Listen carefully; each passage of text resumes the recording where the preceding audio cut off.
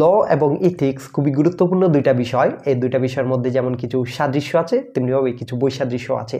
তো আমরা শুরুতেই ল এবং ইথিক্সের মধ্যে কিছু ডিফারেন্স দেখব। তার পরবর্তীতে ল এবং ইথিক্সের মধ্যে কিছু সিমিলারিটিস দেখব। ল এবং ইথিক্সের মধ্যে যে সকল পার্থক্য আছে, সেগুলো হচ্ছে law is the set of rules and regulation বিভিন্ন ধরনের রুলস এবং রেগুলেশনের একটা সমষ্টি হচ্ছে ল অন্যদিকে ethics is the set of guidelines বিভিন্ন ধরনের গাইডলাইন্সের সমষ্টি হচ্ছে ইথিক্স তারপর কি বলা আছে? Law is promulgated by the government আইন জারি করে কে? আইন জারি করে সরকার। অন্যদিকে ethics is promulgated by the respective professional body ethics জারি করে হচ্ছে বিভিন্ন ধরনের প্রফেশনাল বডি প্রফেশনাল বডি বলতে কীরকম রেসপেক্টিভ প্রফেশনাল বডি বলা আছে এখানে মানে হচ্ছে ফার্মাসিস্টদের ইথিক্স তৈরি করে মূলত।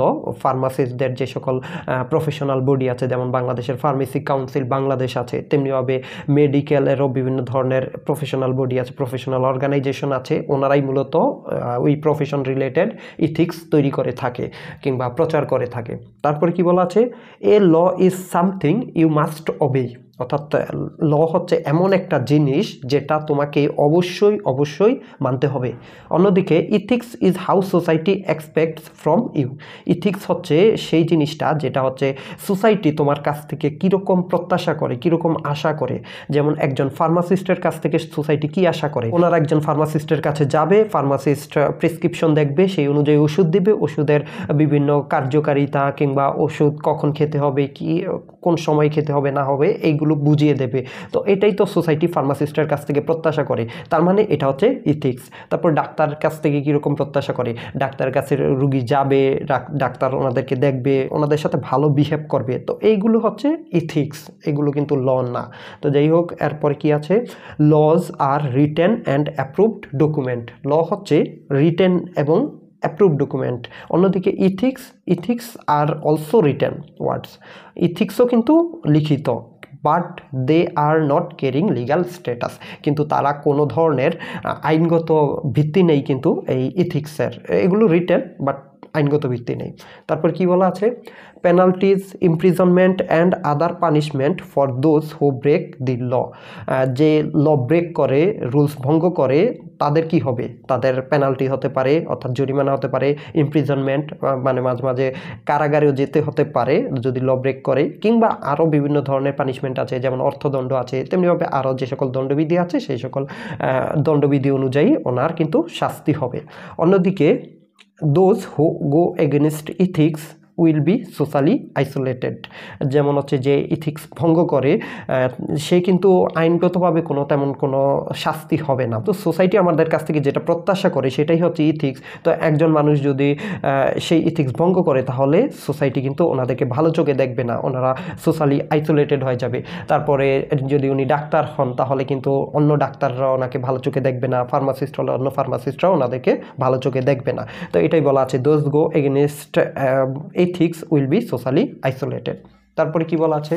তারপরে বলা আছে law enforce by the government যেহেতু গভর্নমেন্ট ল তৈরি করে, সেহেতু এনফোর্স করার দায়িত্ব গভর্নমেন্ট কিংবা গভর্নমেন্টাল বিভিন্ন অর্গানাইজেশন আছে, সেই অর্গানাইজেশনের অন্যদিকে ইথিক্সের ক্ষেত্রে enforce by the respective professional bodies ইথিক্সে তৈরি করে বিভিন্ন প্রফেশন রিলেটেড যে সকল প্রফেশনাল বডি আছে তেমনিভাবে এনফোর্স করে থাকেও প্রফেশনাল ওই ওই রিলেটেড রেসপেক্টিভ প্রফেশনাল বডি তারপর কি বলা আছে?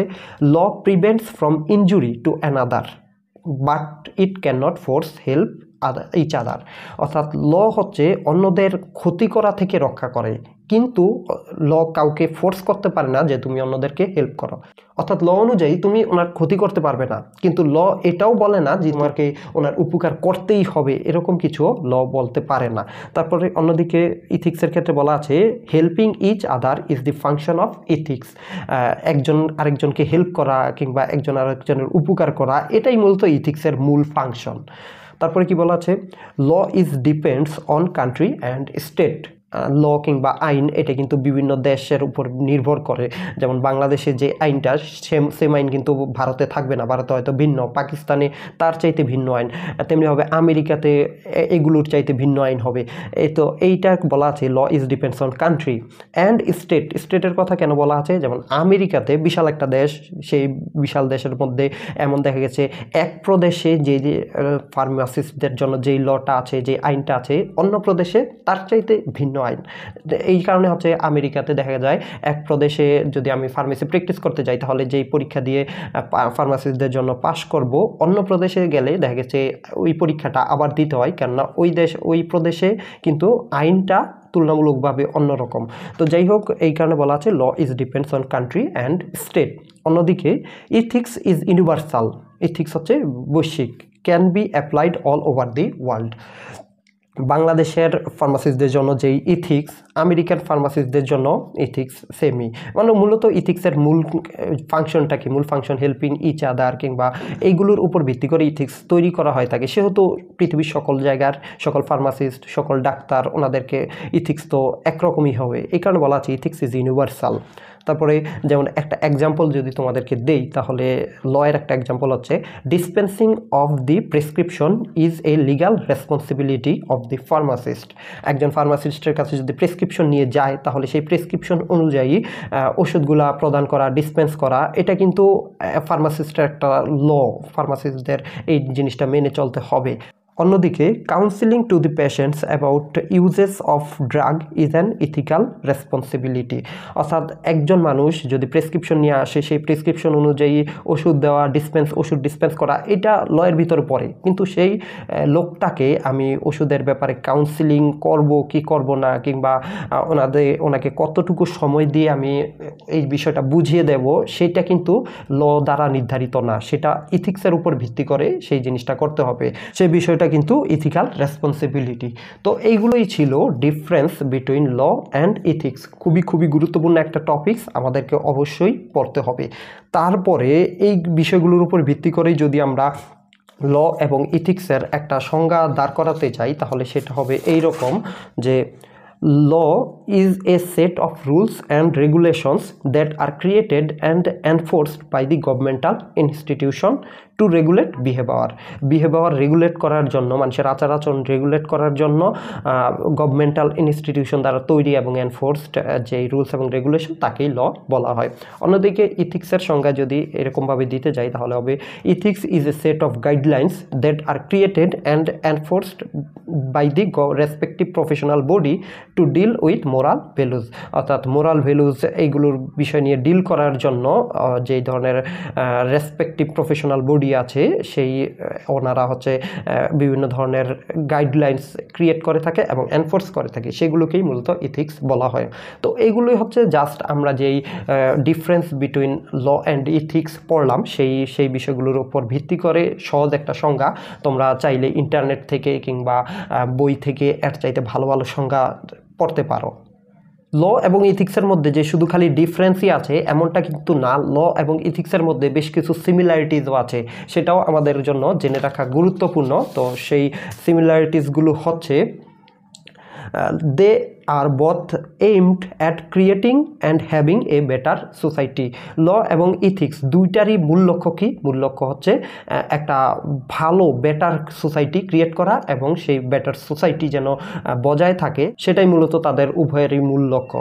তারপরে আছে they both regulate the behaviour of individuals in the society আমাদের সমাজে বসবাসকারী যে বিভিন্ন ধরনের মানুষ আছে, ওনাদের বিহেভিয়ার আচার, আচরণ নিয়ন্ত্রণ করাই মূলত ল এবং ইথিক্স উভয়েরই লক্ষ্য। তারপরে কি বলা আছে? Both law and ethics remind the peoples about their due role in the society সোসাইটিতে প্রত্যেকটা মানুষের, প্রত্যেক পেশার মানুষের বিভিন্ন ধরনের রোল থাকে, বিভিন্ন দায়িত্ব থাকে। ল এবং ইথিক্স মূলত তাদেরকে সেই দায়িত্বগুলোর কথা মনে করিয়ে দেয়, সেই দায়িত্বগুলোর কথা স্মরণ করিয়ে দেয়। তারপরে কি বলা আছে? They prevent any social and professional related crime বিভিন্ন ধরনের সোশ্যাল ক্রাইম আছে সো বিভিন্ন ধরনের প্রফেশনাল ক্রাইম যেমন হচ্ছে চুরি, বাটপারি, এইগুলো হচ্ছে সোশ্যাল ক্রাইম তারপরে হচ্ছে প্রফেশন রিলেটেড ক্রাইম কি? আমি একজন ডাক্তারের কাছে গেলাম, সেই ডাক্তার ভুল, ভুলভাল চিকিৎসা করল। কিংবা একজন ফার্মাসিস্টের কাছে গেলাম, উনি বেশি লাভের আশায় যদি ভেজাল ওষুধ দেন, তো এইগুলো হচ্ছে প্রফেশন রিলেটেড ক্রাইম তো ল এবং ইথিক্স তাদের লক্ষ্য হচ্ছে এই সোশ্যাল এবং প্রফেশন রিলেটেড যে সকল ক্রাইম আছে, সেই ক্রাইমগুলো প্রিভেন্ট করা।